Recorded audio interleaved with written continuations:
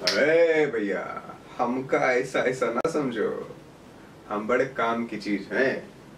अब बाकी auto auto तो हम खाली नाम के लिए चलाते हैं बस। एक बार जो हमारे हाथ आ गए ना तो आपकी किस्मत का सितारा भी हमें बुलंद करेंगे।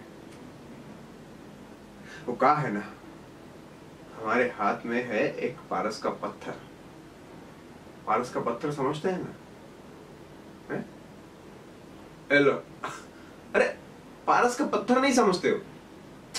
एक बार अगर हम पत्थर से किसी चीज़ को छुआ देना तो वो चीज़ एकदम सोना बन जाती है। हाँ, समझे? अरे एक ऐसी स्कीम है हमारे पास।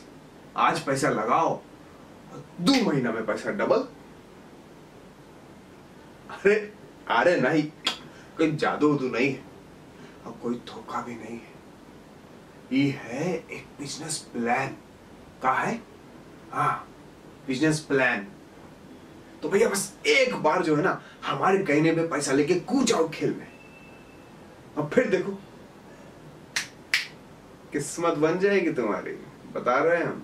हाँ।